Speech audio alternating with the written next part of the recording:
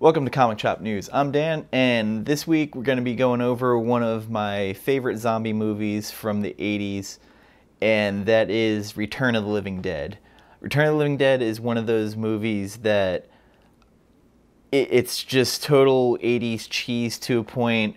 There is this dark humor to it that I enjoy.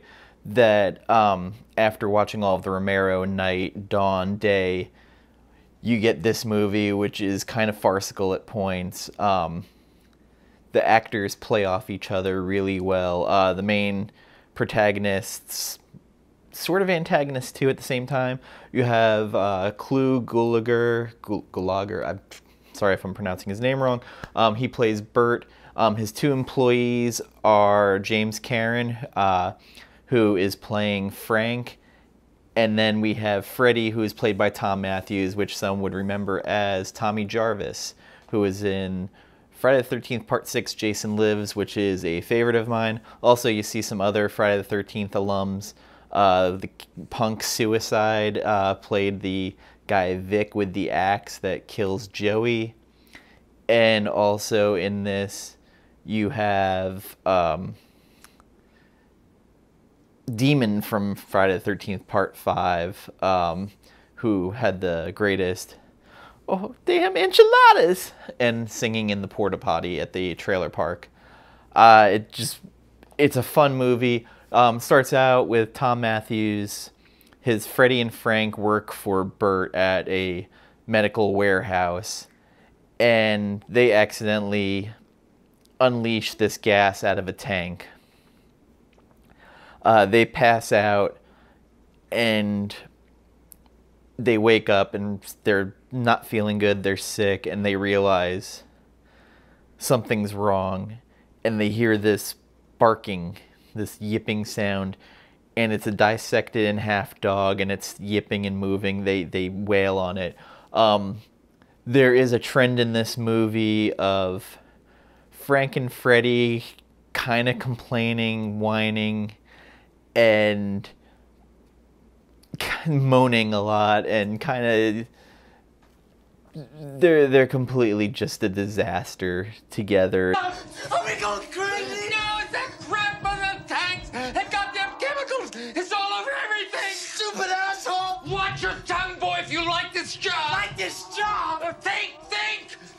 We gotta call the cops. No, no, no, you don't want to call the cops. You know what the cops will do to this company? Who cares about the company? Well, think of my reputation. Your reputation. Think, think. What about the number on the side of the tank?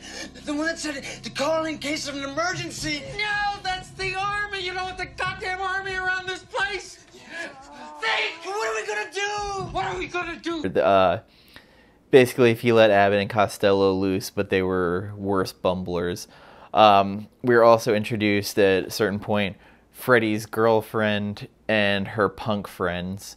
Uh, the punk friends include Linnea Quigley as Trash, uh, the guy Suicide, who is the tough uh, punk with the leather and the chains, um, Demon, and um, I forget a couple of the other characters' names, but they they they stay in the movie almost the whole movie.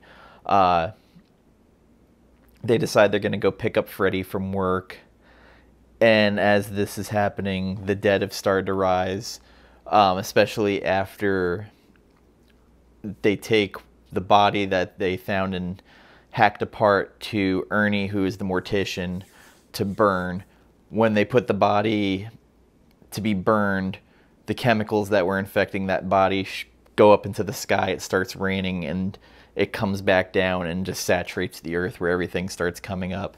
Um, in between this is happening, I think every pubescent, prepubescent boy who ever watched this on cable will remember Linnea Quigley is trash doing one of the most insane dances and ripping her clothes off and dancing in the grave.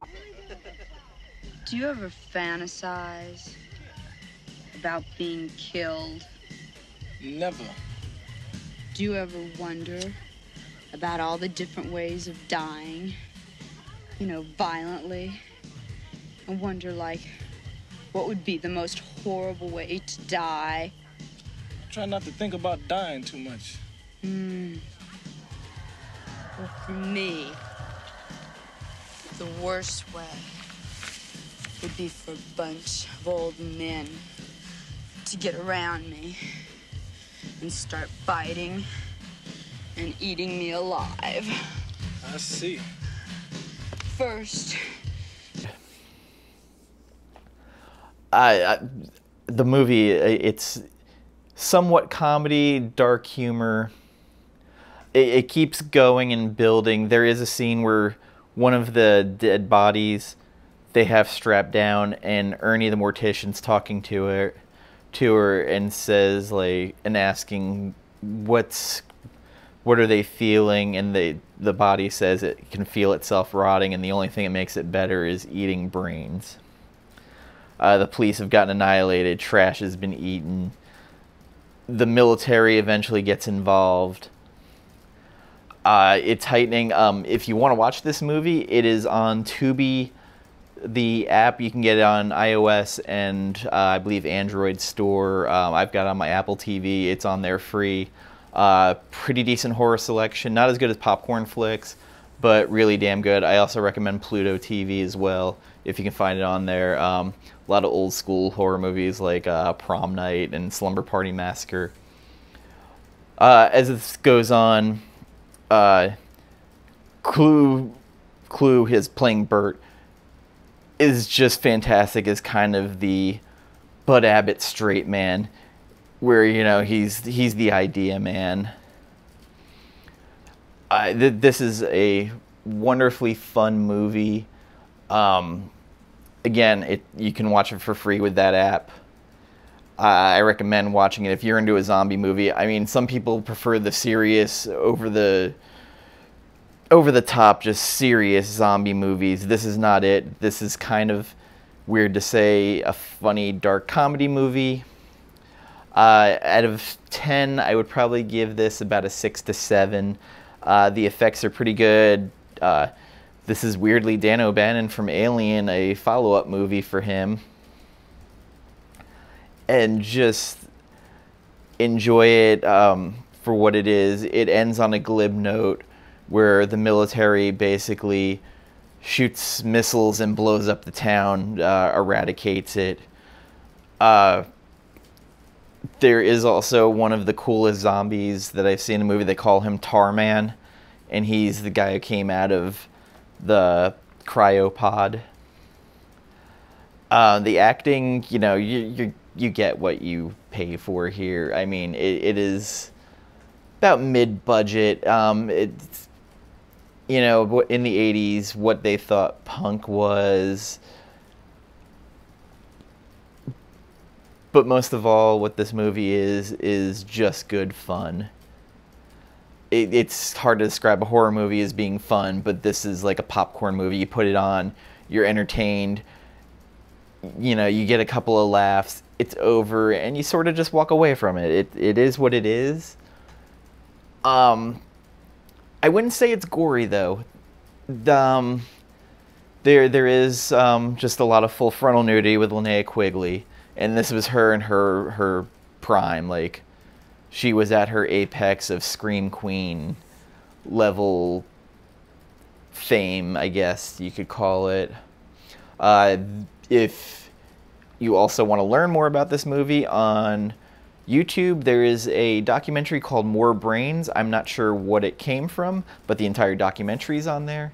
And it's pretty incredible and fascinating because where some of these actors came from and some of the issues that were going on during the shooting.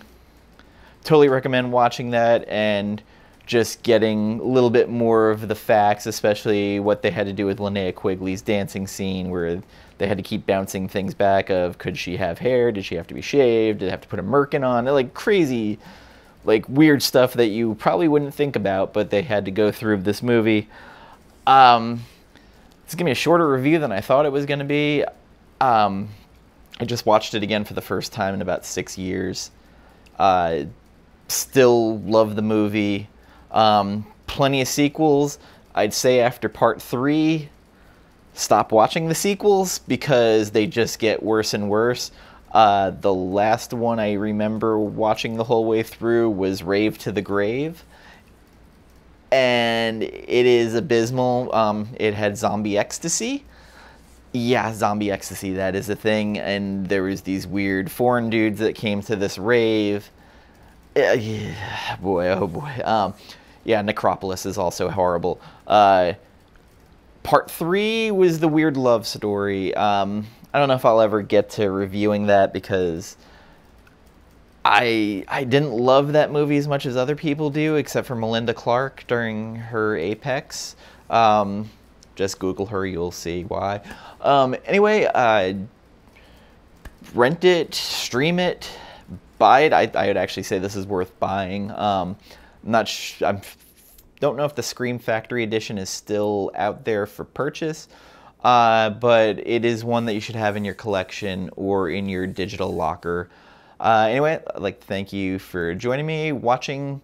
Uh, comment, share, uh, like, subscribe, and uh, again, thank you and good night.